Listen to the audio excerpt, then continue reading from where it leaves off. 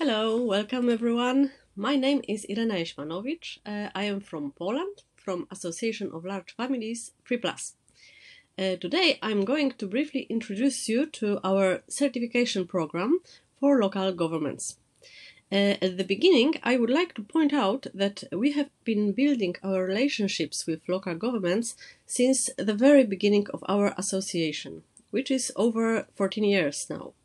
We have established uh, the Municipalities Forum for large families, and uh, regularly, twice a year, we organize meetings for its members.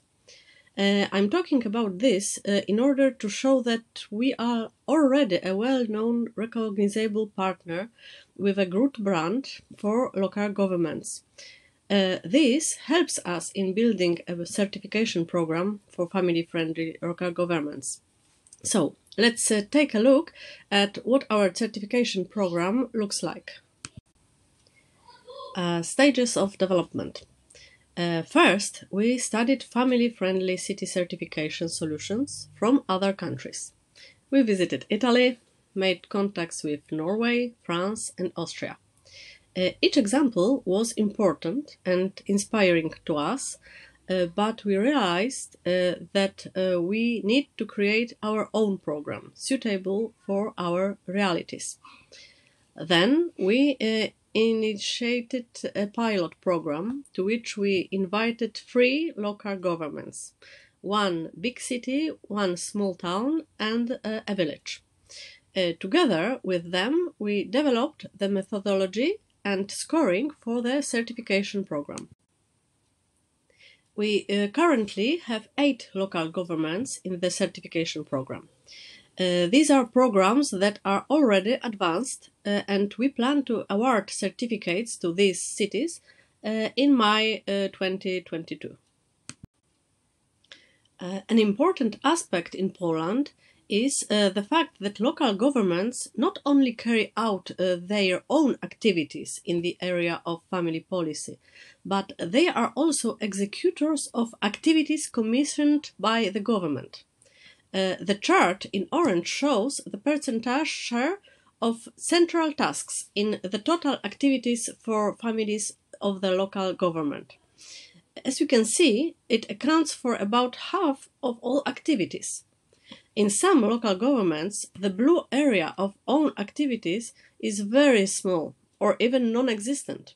But this, uh, of course, does not apply to the local governments we certify. After pilotage, we created a certification scheme in which we can identify the following stages. Uh, first uh, is the time of conducting the analysis of existing solutions in the local government. During this stage, we visit the local government, uh, interview the residents, and expect the local government to answer many of our questions. Uh, based on the collected data, we prepare a comprehensive report uh, in which we summarize the current stage and recommend specific solutions to be implemented. Uh, then uh, we uh, offer some trainings uh, for administration uh, in areas where they need to improve their competencies. we assist the local government during the whole implementation process, supporting them and auditing. Uh, after meeting uh, all the requirements, uh, the local government gets family friendly local government certificate. Uh, the first awarding, as I said, is planned for May this year. Uh, under the agreement with uh, ELFAC, our certificate will also be recognized at European level.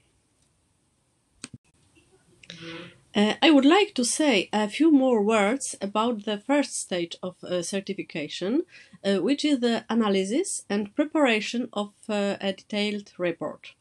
Uh, we have prepared an extensive questionnaire for the local administration, uh, which usually takes several weeks to complete.